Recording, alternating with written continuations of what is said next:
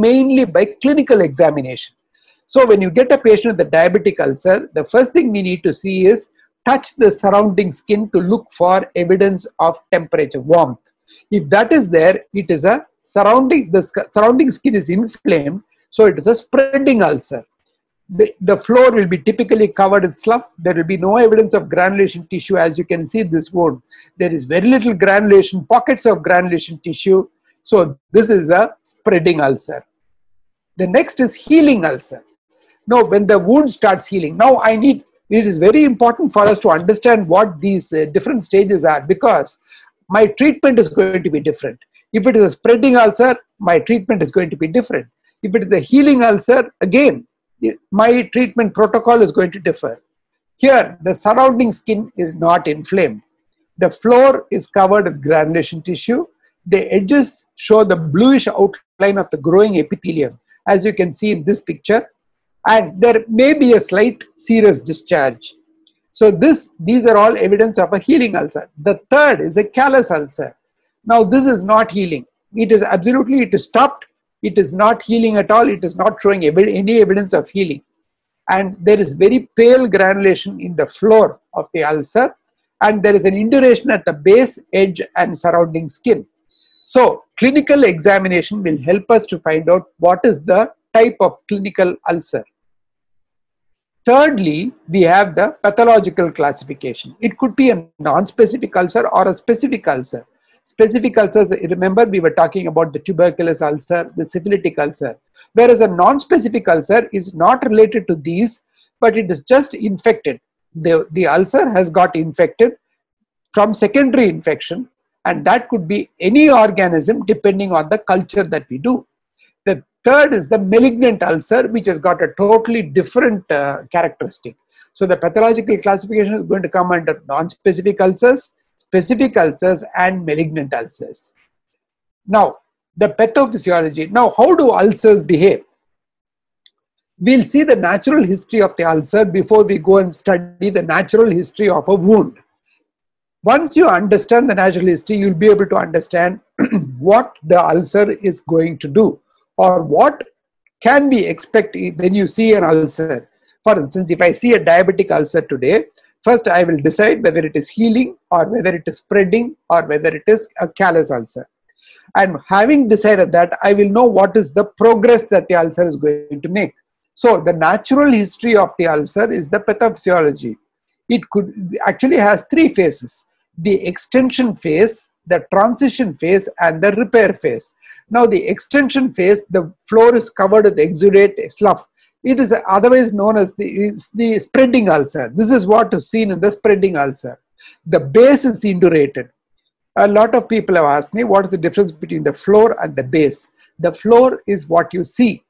The base is the tissue under the floor that you cannot see, but you can only feel. So you can see that the you can feel that the base is indurated, but you can see that the floor is covered with granulation. You can see that the floor is covered with slough. And the discharge may be purulent or bloodstained. So when this is the phase, it means that the, the, the ulcer is still growing. It is in the extension phase. So you need to uh, treat it completely with antibiotics according to the pus culture and according to you need to debride the wound, you need to clean the wound and apply dressings.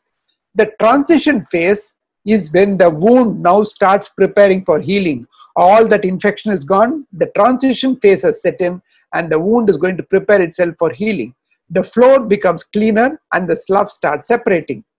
Then the induration of the base diminishes. The discharge becomes more serous. This is a sign that the healing is beginning to occur. So when you say, that is what I remember our uh, professors used to say they used to actually uh, smell the wound. Now that is important. The other thing important is you have to take out the dressing on your own. I always insist that I remove the dressing for my patient when he comes for a dressing change. When you remove the dressing, you are able to see what is the soakage in that wound, in that dressing, and how much of soakage, what is the color of that soakage, what is the smell that is associated with that soakage and what is the quantity that is associated. Now, this will tell us to a certain extent how the wound is reacting to your treatment. and the induration diminishes. I told you the induration is what you feel. That will diminish and the discharge, as I said, becomes more serous. And small reddish granulation tissue starts appearing on the floor. That is the first sign of healing. So that tells you that you are on the right track. And lastly, the repair phase, the transformation of granulation to fibrous tissue and the epithelium extends from the shelving as a shelving edge. It's a, a flat edge and it's supposed to grow at the rate of one millimeter per day. And the healing edge that you see actually has three zones. The first zone is the whitish tissue, the outer zone, which is white in color. Now this actually represents the, uh, the healed epithelium. The middle zone is bluish in color. The, the, the whitish layer is the epithelial layers have all developed. In the bluish layer or the middle zone, you have a granulation which is covered by a few layers of epithelium. So it appears bluish because the red is uh, coming through layer, multiple layers of epithelial cells. So it appears bluish. And lastly, the inner zone, which is reddish granulation tissue, actually it is covered by a single layer of epithelium and this is not, that is why it appears red through this very thin layer of epithelium.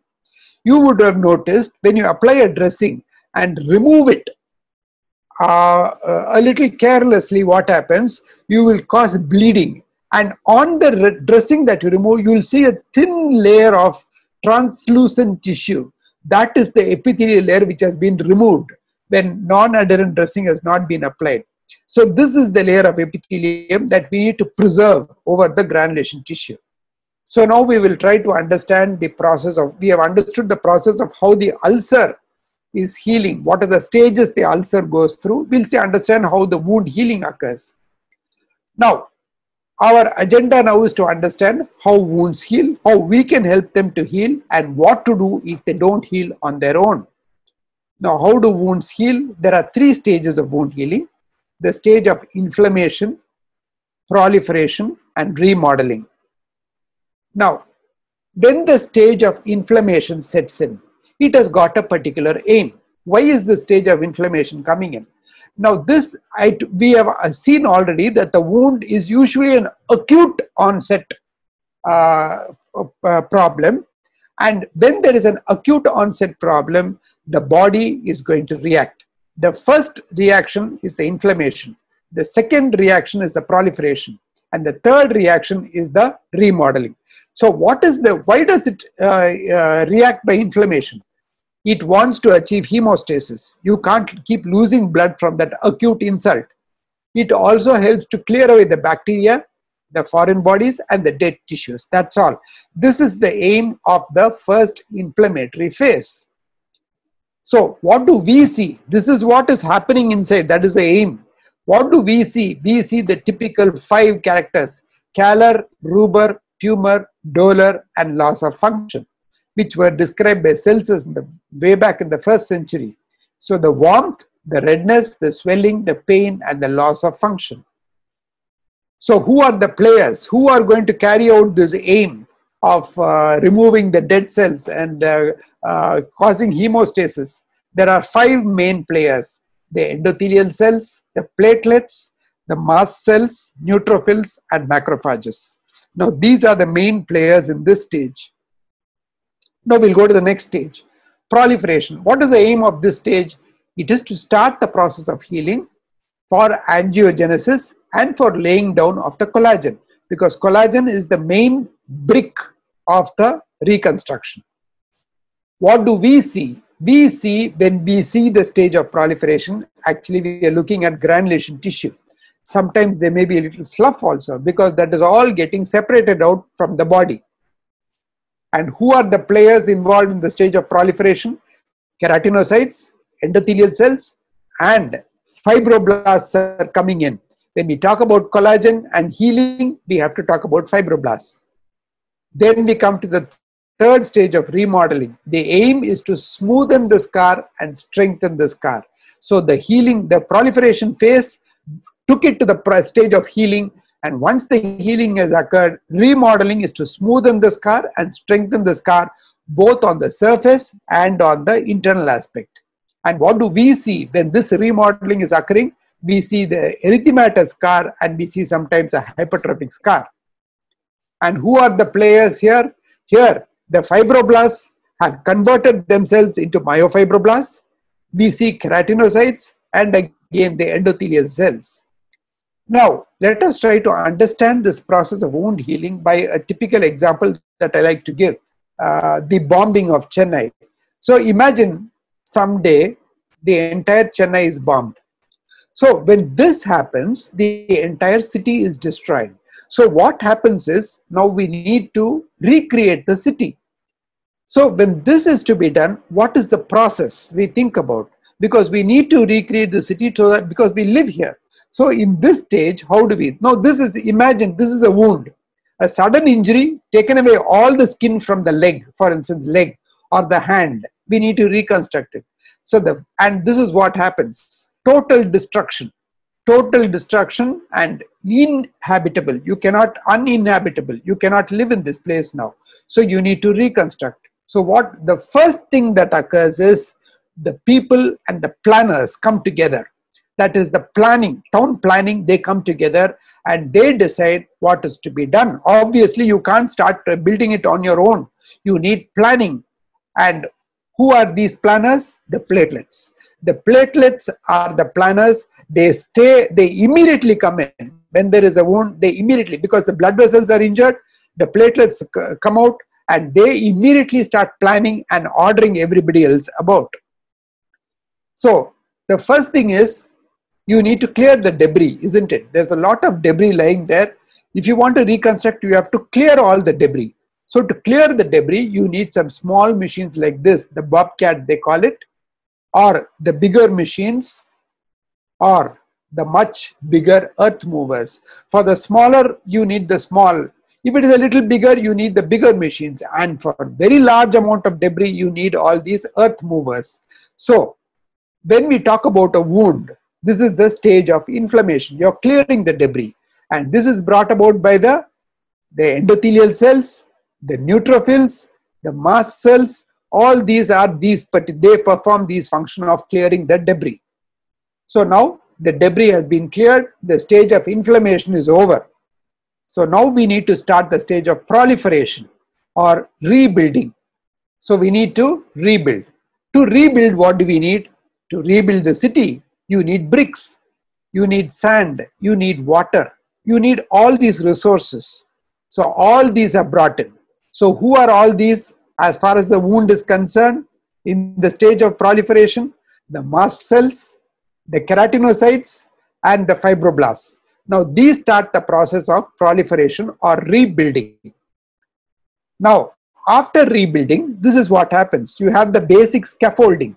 Collagen has been laid down the building has been built but can we live in it or can it be used not at all because we need something else what do we need we need plumbing you need electrical supplies and it has to be painted and made livable so these are carried out in the stage of remodeling by the myofibroblasts the mast cells and the keratinocytes again and the endothelial cells now, this is what happens. This is exactly what. So you have a healing. Now, it looks so nice. I mean, if Chennai was like this. Okay. So now, uh, this is how the reconstruction occurs. I gave the example of a city that has been totally reconstructed. This the same thing happens to the wound or the skin that is being injured. Will all wounds heal like this? It depends. Some wounds heal by primary. There are different types of wound healing. You can have primary healing or secondary healing. Now, this is an example of healing by primary intention. A wound on the lower eyelid, which has taken away the lower eyelid, uh, which has taken away a flap of the lower eyelid. Now, this has been sutured and this is the end result. You can make out the edema there. This is a wound that has healed by secondary intention. Now, you can make out the difference. Now, this is again healing by secondary intention. If such large areas of destruction are not taken care of and are allowed to heal by the process that we have seen, the myofibroblast, the keratinocytes, and the endothelial cells, when they start trying to heal the wound, this is what results. You have a multiple contractures that develop or hypertrophic scars that develop. That is the na nature's way of trying to heal the wound. However, these though the wounds have healed, they are not functional. So comes back to our main aim in management of wounds is not healing but function. So the management of wounds is non-surgical or surgical. So when do we do non-surgical management? Either as the only management. It may be a very small wound. You only need a non-surgical management. There is no need for a surgical management. Or it can also be needed as an adjunct to surgical management. For instance, a patient comes in today with a large wound you cannot do the surgery because he has got some other problems. So till he goes for the definitive surgery, the wound has to be managed by non-surgical. You can't just leave the wound there. You have to manage it with non-surgical management till the wound gets ready for the, the definitive procedure.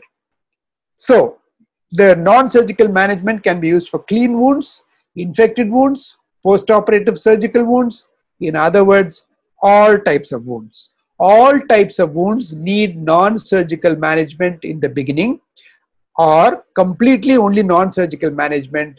Uh, many wounds may require surgical management at some time or the other. So now, so the non-surgical, the mainstay of non-surgical management is dressings. Why do we need dressings at all?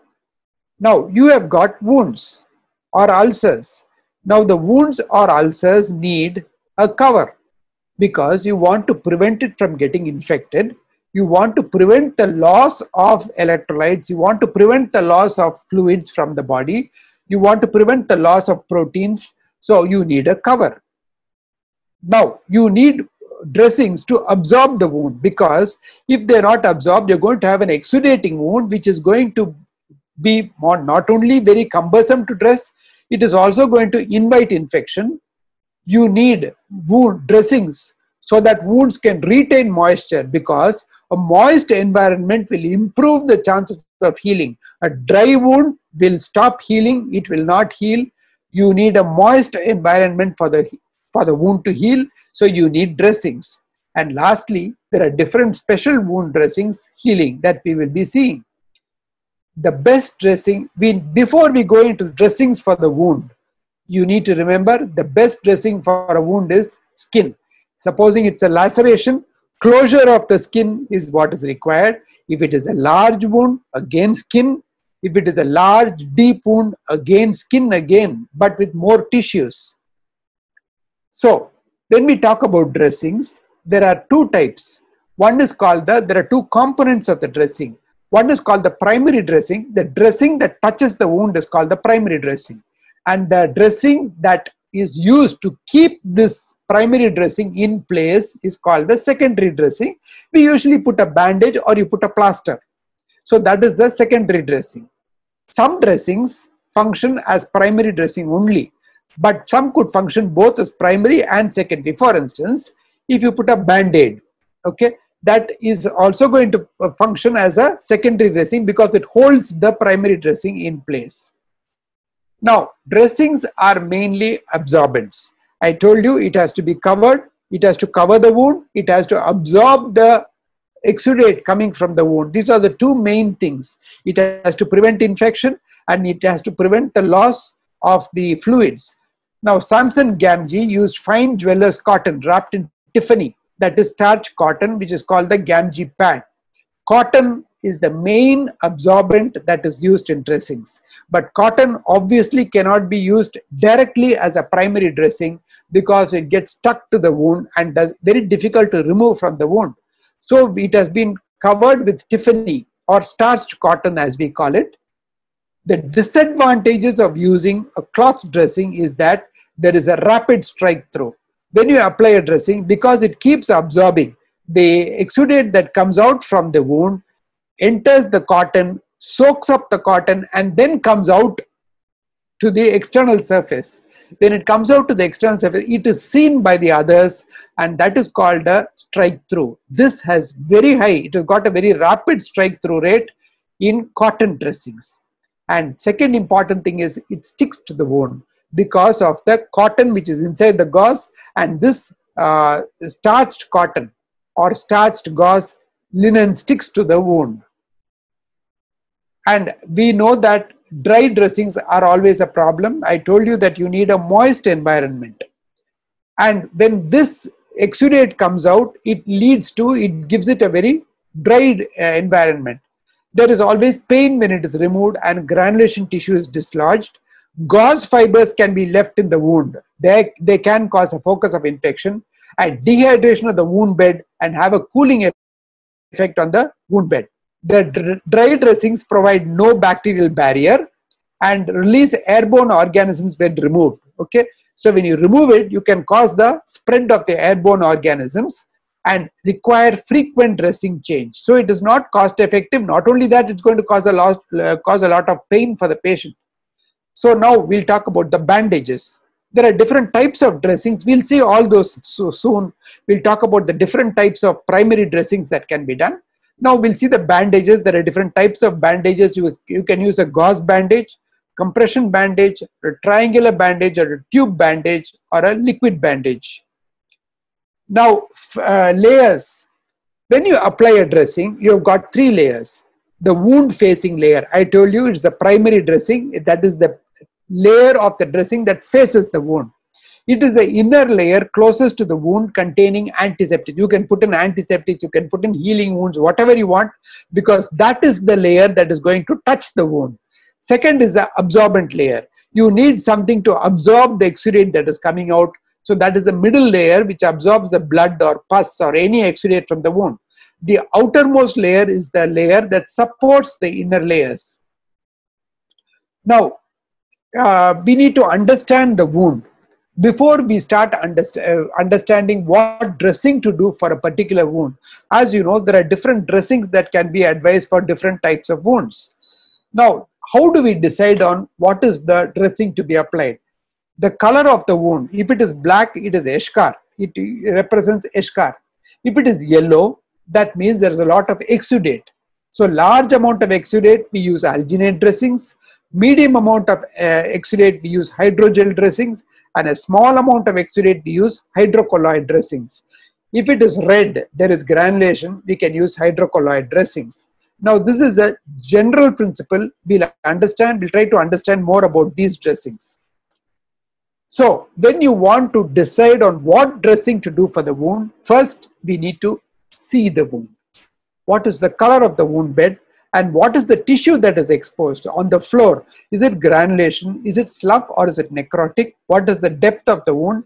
And what are the visible structures? Is it tendon fascia or bone? Then we need to record the findings of the wound. There are two methods mainly. The ruler method that is you can use the length into width and estimate in the in the form of uh, square centimeters.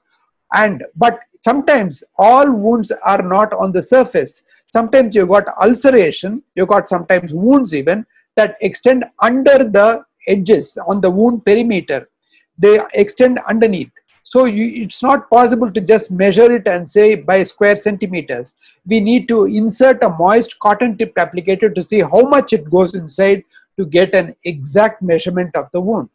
Then we need to observe the bed whether it is dry moist wet saturated or leaky then we need to examine the exudate from the wound. What is the color? What is the consistency? What is the odor? And what is the volume? I told you, when you you do the dressings, then you even taking down down the dressings should be done by the surgeon if he is really interested in managing that wound because managing the wound consists of looking at the wound and looking at the wound consists of looking at the dressing first so when the surgeon takes down the wound, he will be able to assess what has been the exudate because otherwise you cannot make out the exudate. The exudate can, the amount of volume and the odor and the consistency can be made out better with the soiled dressing that is going to be removed.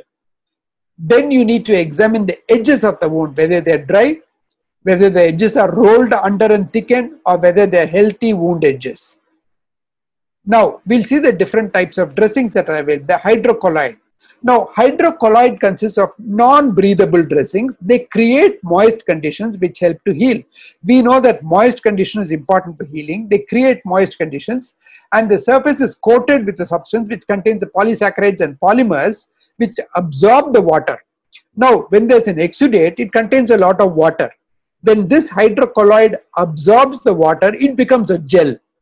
It's, it retains that absorbed exudate in the sense that it retains the absorbed water and becomes a gel and does not let it outside. So it is very clean and it is impermeable to bacteria. So it's very effective in preventing infections. It can be used for burns and exudating wounds. Hydrogel. Now we saw about colloid that becomes converted into a gel.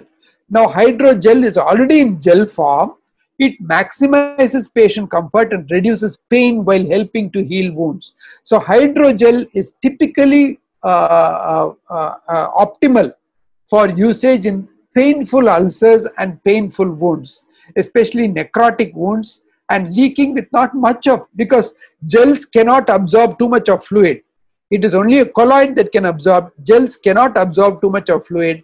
So it is better to use it for lesser amount of exudate. If there is too much of exudate, it's better to use hydrocolloid. And it can be used for infective wounds also. Now, what is alginate? Alginate dressings absorb the excess liquid and create a gel again. Whenever these substances absorb the water, they have the capacity to absorb the water, they become converted to a gel if they are going to retain it as water, the strike through will be there. It will be seen outside. They retain the water and get converted into a gel which does not come out. So these are converted to a gel that helps to heal the wound more quickly because it keeps it in a moist environment. Now alginate contains sodium and seaweed fibers. They are used for wounds that have high amount of drainage and burns, venous ulcers and uh, packing. It can be used for the packing of wounds and higher state pressure ulcers. It is ideal for wet wounds. The problem with alginate is after it absorbs all the water, it makes it very dry and that again will prevent the healing. So this can be used sometimes for wounds that have high amounts of drainage. But it is important that you must not let the wound get dry and this alginate dressing should be removed within two or three days so that it doesn't allow the wound to dry. However, if the wound is continuing to ooze and it's moist on its own, you can leave this alginate dressing on. The next is foam dressings. Now these foam dressings absorb exudates from the wound surface, creating an environment for faster healing. These dressings allow the water vapor to enter, keeping the area moist. The others do not allow water vapor to enter Foam dressings allow water to enter, keeping it moist, promoting faster healing. But at the same time, prevent bacteria from. If they did not prevent bacteria, obviously there is no use of this uh, dressing because it's going to get infected. It can be used for wounds of varying degrees of severity and work incredibly well for all those, especially for injuries that exhibit odor because you have air entering.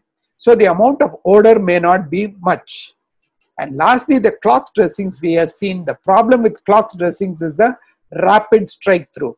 You apply a cloth dressing, it is quite comfortable, but only thing is it has got one disadvantage, it sticks to the wound and you need to need, have another layer to have the interface. That is the primary dressing should be another layer which is non-adherent.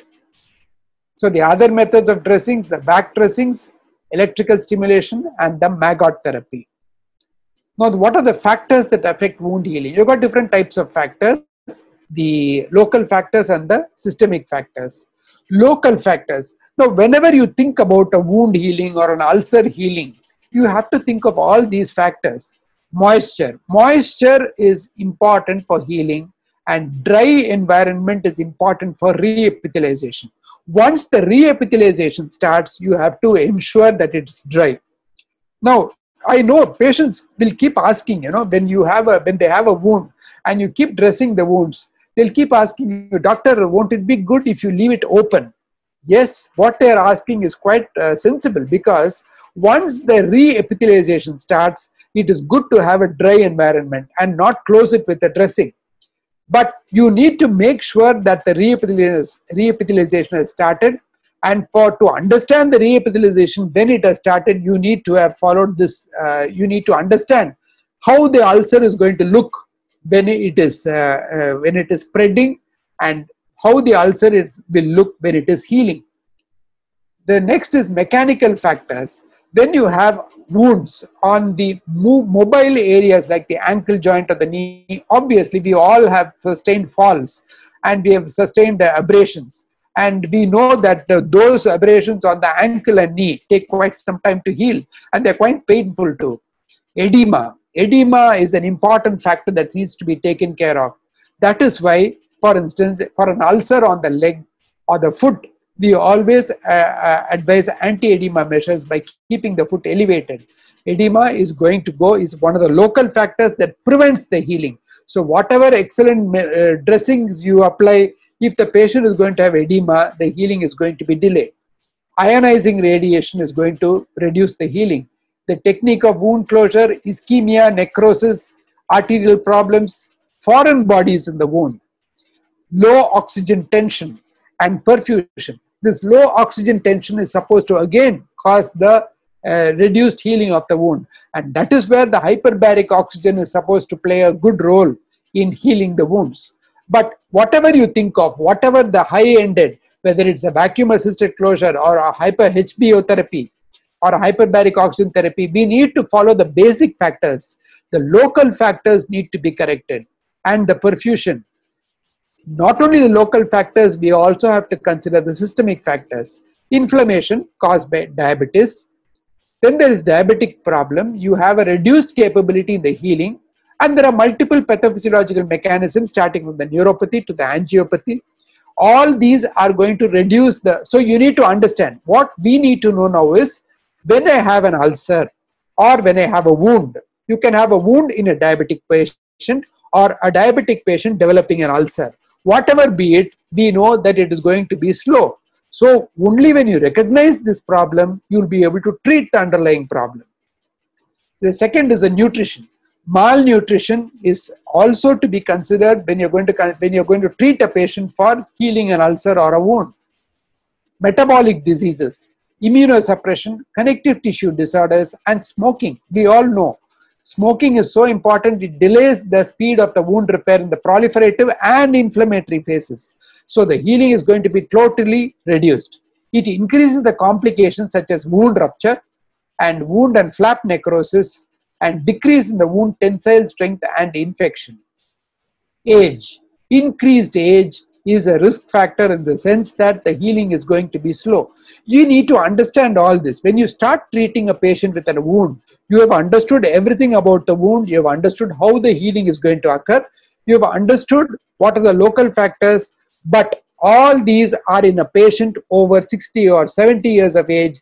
You need to tell them that it is going to, the important thing is you need to, you need to understand it first and then you tell them that it's going to be slow you be, but you need to continue the dressings.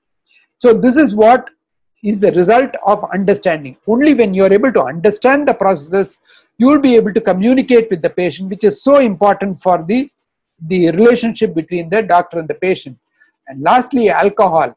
It affects, surprisingly, uh, alcohol affects the proliferative phase of healing there is a negative effect on reepithelialization, wound closure, collagen production, and angiogenesis. So, alcohol, yes, we, we used to think that alcohol is not a big factor as smoking. Yes, not maybe, but alcohol does have a detrimental effect on the healing. Now, how would this wound heal? It, it is going to go, through, there are different stages of wound management. If it is going to be like this, the management is going to be different if it is then it comes to this level here again. Here the dressings that you're going to use you're going to use dry dressings because you want to come it you want it to come out. Or you need to debride it as early as possible. It is dry. That means there is no inflammation. If there is no inflammation it is not spreading. If it is not spreading all you have to do is you can go in and debride. Your your aim whenever you see a wound or ulcer should be two things. One what is the status in which it is now second when can i intervene So these are the two, whenever you see a patient with a ulcer or a wound, these are the two questions to run in your mind. What is the status of the wound now?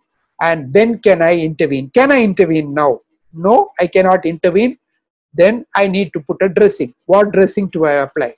Now here, this is the, you can make out the amount of slough over here. And then another one month of dressings, it became healthy and a skin graft has been applied. So now this takes time. This process takes time, but this process takes you through the different process of the wound healing and how you go along with the processes to heal the wound. So which are the wounds that will require surgery? If there are cuts and lacerations, if they are not sutured, they will heal, but you may have a little more scarring. If they are sutured, obviously you'll have a less lesser amount of scarring. If they are superficial second degree wounds, they will heal and there will be less scarring. If there are deep second degree wounds, they may heal, and even if they do heal, the, there will be more scarring. This is because when you have a deep second degree wound, the amount of involvement of the dermis is more. And dermis is important for the healing.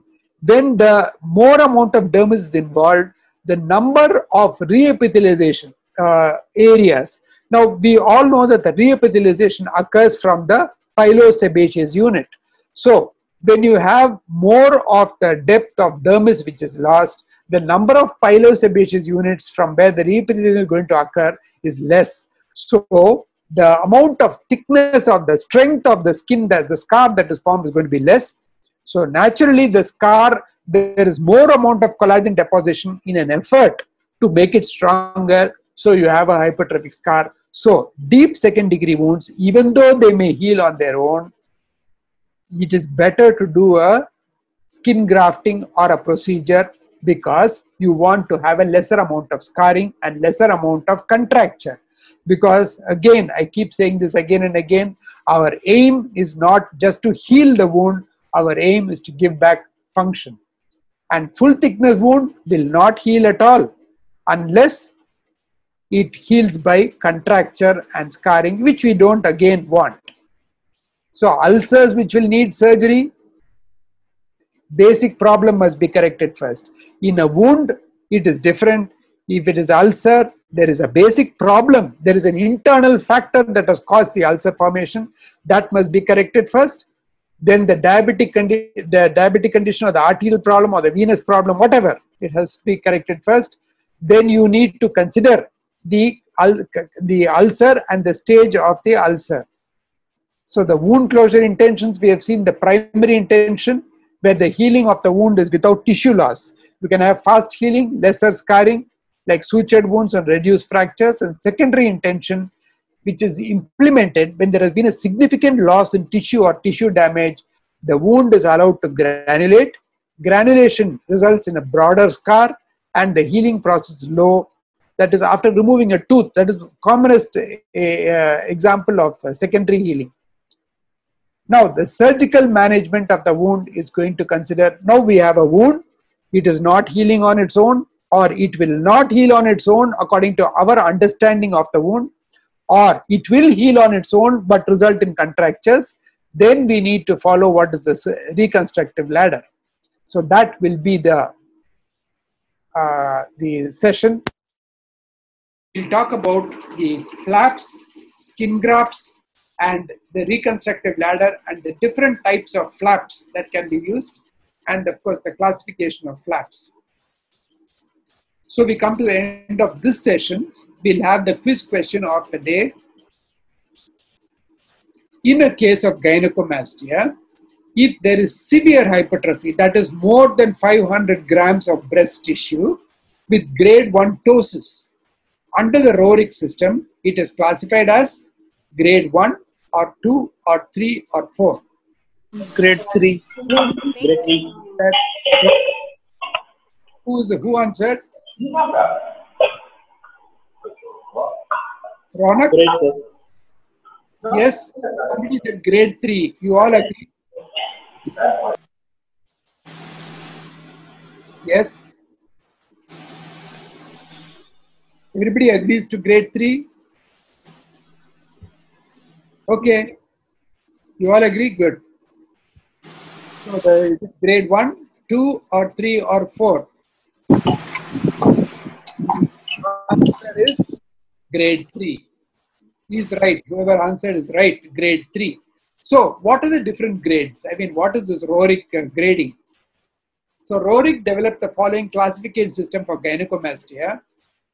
Grade 1 is minimal hypertrophy, that is less than 250 grams of breast tissue without ptosis. Grade 2 is moderate hypertrophy, 250 to 500 grams without ptosis again, there is no ptosis. When there is grade 1 ptosis and severe hypertrophy, that is more than 500 grams of breast, breast tissue, it is grade 3 according to the Rohrich classification. And grade 4 is severe hypertrophy, the same thing, more than 500 grams with grade 2 or grade 3 ptosis. So that is the uh, answer. Good. So you are able to remember the Rohrich grading. So as I said, the next session will be on surgical management of wounds, including grafts, flaps, classification of flaps, and the reconstructive ladder. You all see wounds, isn't it? We all see wounds, we all see ulcers day in and day out. Now, it is interesting to know about the basic processes that go on in the wounds, how they heal, and uh, I mean, what uh, what are the processes that are going on, and uh, uh so that is why I wanted to take a small session on wounds and ulcers, and the surgical management where we are involved the whole problem is sometimes we think that we only are there to do surgery. That is not the fact. The, sur- the entire concept of surgery is based on understanding of the basics. Once we understand the basics, our surgical technique, our surgical principles will be more sensibly applied to the healing of the wound. Are there any questions?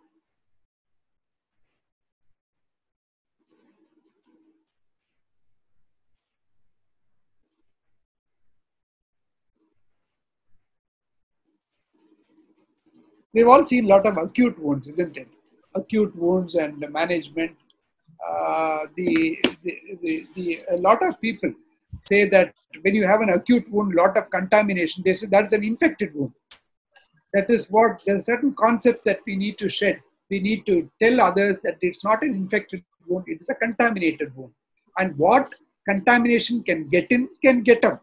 The contamination got in because of the road traffic accident what got in can also come out. So that is what we need to, basic concepts that we need to uh, understand. Okay. So, so there are uh, one or two questions in the question chat box.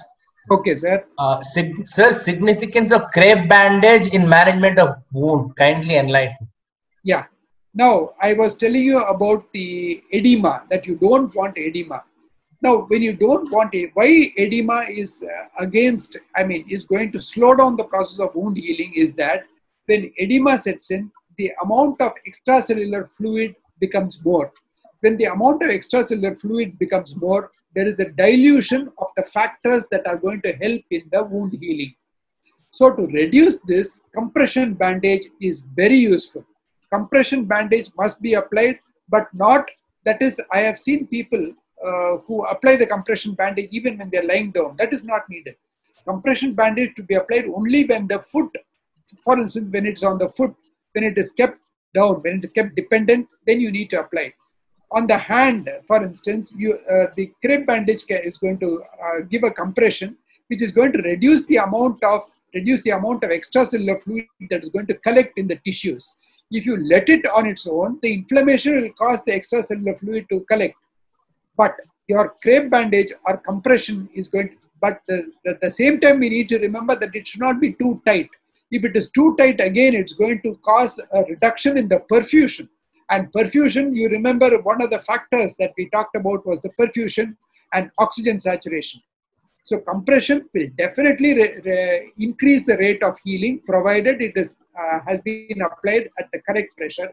There are different types of crepe bandage with different uh, thickness the thicker the crepe bandage, is, the more pressure is going to apply. So when you apply a crepe bandage for, uh, for healing, for a quicker healing of a wound, you should remember that it should not be too tight nor too loose.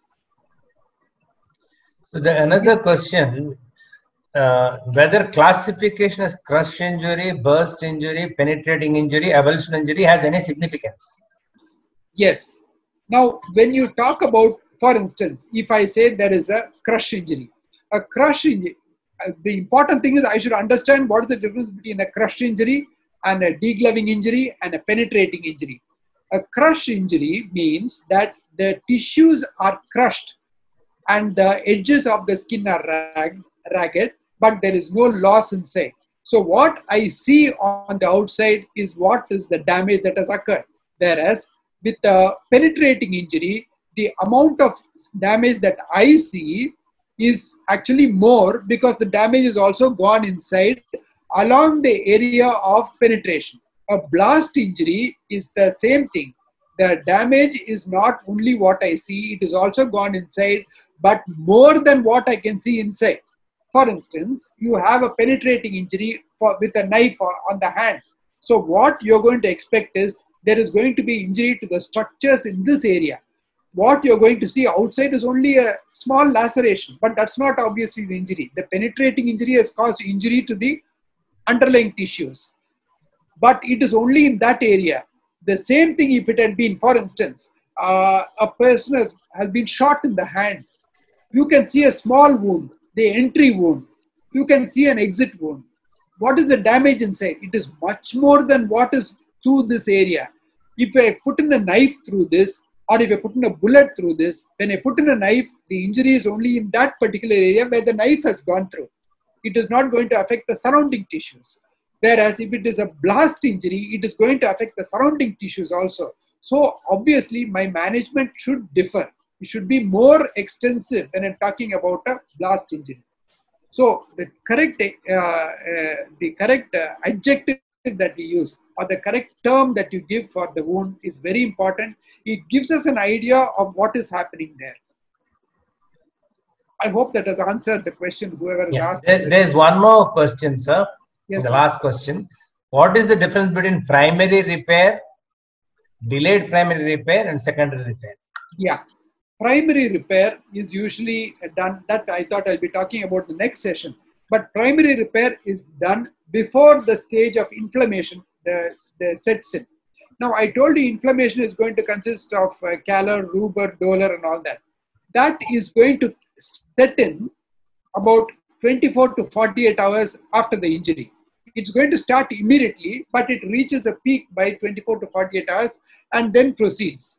So, when you have the primary injury, when you have an injury, within 24 to 48 hours, if you are able to manage it, it is called primary repair or reconstruction. You can even do a primary reconstruction.